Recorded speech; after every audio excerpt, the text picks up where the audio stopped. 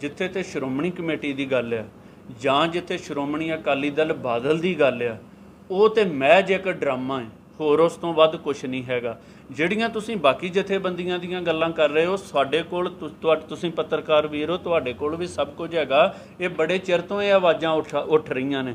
ਸ਼੍ਰੋਮਣੀ ਅਕਾਲੀ ਦਲ ਅੰਮ੍ਰਿਤਸਰ ਕਦੋਂ ਤੋਂ ਆਵਾਜ਼ ਚੁੱਕ ਰਿਹਾ?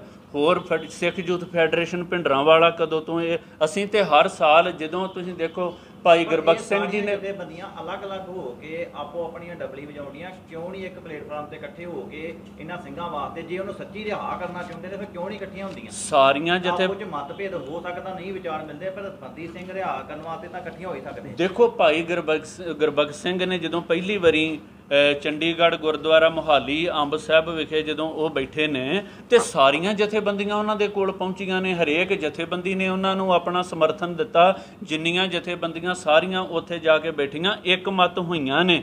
ਤੁਸੀਂ ਗ- ਗੱਲ ਕੀਤੀ ਆ ਸ਼੍ਰੋਮਣੀ ਅਕਾਲੀ ਦਲ ਦੀ।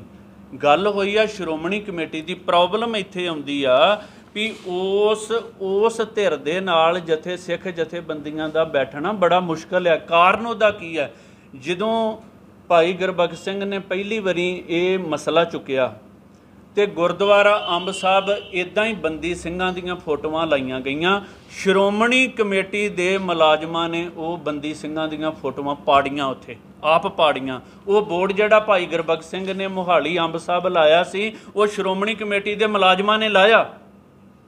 ਸਰਦਾਰ ਸੁਖਬੀਰ ਸਿੰਘ ਬਾਦਲ ਇਹਨਾਂ ਬੰਦੀ ਸਿੰਘਾਂ ਨੂੰ ਅੱਤਵਾਦੀ ਕਹਿੰਦੇ ਰਹੇ।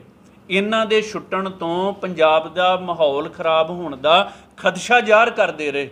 ਇਹ ਕੱਲ ਤੱਕ ਤੇ ਇਹ ਗੱਲਾਂ ਕਹਿੰਦੇ ਰਹੇ ਵੀ ਇਹ ਜਿਹੜੇ ਨੇ, ਇਹ ਅੱਤਵਾਦੀ ਨੇ, ਮੈਂ ਅੱਜ ਸਵੇਰੇ YouTube ਤੋਂ ਇੱਕ ਪੁਰਾਣੀ ਕੱਢ ਕੇ ਸਰਦਾਰ ਸੁਖਬੀਰ ਸਿੰਘ ਬਾਦਲ ਦੀ ਸੁਣ ਰਿਹਾ ਸੀ।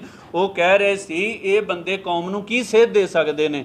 ਇਹਨਾਂ ਨੇ ਕਤਲ ਕੀਤੇ ਨੇ, ਇਹਨਾਂ ਨੇ ਐਦਾਂ ਕੀਤਾ ਹੈ। ਇਹਨਾਂ ਜਿਹੜੇ ਜਿਹੜੇ ਸਿੰਘ ਬੰਦੀ ਜਦੋਂ ਤੁਸੀਂ ਰਾਜ ਸੱਤਾ 'ਚ ਬੈਠੇ ਸੀ, ਜਦੋਂ ਤੁਸੀਂ ਉਪ ਮੁੱਖ ਮੰਤਰੀ ਸੀ, ਜਦੋਂ ਤੁਸੀਂ ਪੰਜਾਬ ਦੇ ਮਾਲਕ ਸੀ, ਉਦੋਂ ਤੁਹਾਨੂੰ ਉਹ ਅੱਤਵਾਦੀ ਲੱਗਦੇ ਸੀ।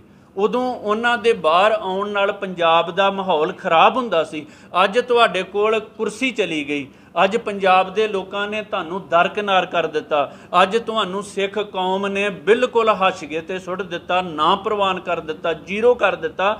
ਅੱਜ ਤੁਹਾਨੂੰ ਉਹੀ ਬੰਦੀ ਸਿੰਘ, ਉਹ ਉਹੀ ਅੱਤਵਾਦੀ ਜਿਹੜੇ ਨੇ, ਉਹੀ ਪੰਜਾਬ ਦੇ ਮਾਹੌਲ ਨੂੰ ਅੱਗ ਲਾਉਣ ਵਾਲੇ ਜਿਹੜੇ ਨੇ, ਉਹ ਬੰਦੀ ਸਿੰਘ ਕਿਦਾਂ ਲੱਗਣ ਲੱਗ ਪਏ? ਤੁਸੀਂ ਉਹਨਾਂ ਦਾ ਸੰਘਰਸ਼ ਕਿਵੇਂ ਲੜਨ ਲੱਗ ਪਏ ਹੁਣ? ਕਿਹੜੇ ਮੂੰਹ ਨਾਲ ਸਰਦਾਰ ਸੁਖਬੀਰ ਸਿੰਘ ਬਾਦਲ ਇਹ ਗੱਲ ਕਹਿੰਦਾ ਏ? ਇਹ ਤਾਂ ਫਿਰ ਉਹ ਗੱਲ ਹੋ ਗਈ ਜੀ। ਸਮਾਂ ਪੈਣ ਤੇ ਇਹ ਤੇ ਉਦਾਂ ਹੋ ਗਿਆ ਵੀ ਛੋਟੇ ਸਾਹਿਬਜ਼ਾਦਿਆਂ ਦੇ ਹੱਕ ਵਿੱਚ ਸੂਬਾ ਸਰਹੰਦ ਵੀ ਨਾਰੇ ਮਾਰਨ ਲੱਗ ਪਿਆ, ਗੰਗੂ ਵੀ ਨਾਰੇ ਮਾਰਨ ਲੱਗ ਪਿਆ ਤੇ ਸੁੱਚਾ ਆਨੰਦ ਵੀ ਕਹਿਣ ਲੱਗ ਪਿਆ ਵੀ ਸਾਨੂੰ ਛੋਟੇ ਸਾਹਿਬਜ਼ਾਦਿਆਂ ਦਾ ਇਨਸਾਫ ਦਿੱਤਾ ਜਾਵੇ। ਇਹ ਤੇ ਉਹ ਗੱਲ ਹੋ ਗਈ। ਮੰਨ ਲਓ ਇਦਾਂ ਦਾ ਮਾਹੌਲ ਬਣਦਾ। ਬਾਬਾ ਬੰਦਾ ਸਿੰਘ ਬਹਾਦਰ ਉਹਨਾਂ ਨੂੰ ਆਪਣੇ ਖਾਲਸਾਈ ਤਰੀਕੇ ਦੇ ਨਾਲ ਸਜ਼ਾਵਾਂ ਨਾ ਦਿੰਦਾ ਤੇ ਕੀ ਗੱਲ ਕੌਮ ਆਉਣ ਵਾਲੇ ਸਮੇਂ 'ਚ ਗੰਗੂ ਦੇ ਨਾਲ ਤੇ ਸੂਬੇ ਸਰਹੰਦ ਨਾਲ ਜਾ ਕੇ ਖੜ ਜਾਂਦੀ ਵੀ ਇਹ ਬੰਦੇ ਬਹੁਤ ਵਧੀਆ ਕੰਮ ਕਰ ਰਹੇ ਆ ਜੀ। ਇਹਨਾਂ ਨੇ ਛੋਟੇ ਸਾਹਿਬਜ਼ਾਦਿਆਂ ਦੇ ਹੱਕ 'ਚ ਆਵਾਜ਼ ਬੁਲੰਦ ਕੀਤੀ ਕਿ ਅਸੀਂ ਉਹਨਾਂ ਨਾਲ ਖੜ ਸਕਦੇ ਸੀ। ਜਿਹੜੇ ਬੰਦੇ ਖੁਦ ਰਾਜ ਸਤਾ 20 25 ਸਾਲ ਭੋਗਦੇ ਆ, ਇੱਕ ਵਾਰੀ ਵੀ ਬੰਦੀ ਸਿੰਘਾਂ ਦਾ ਨਾਂ ਨਹੀਂ ਲਿਆ।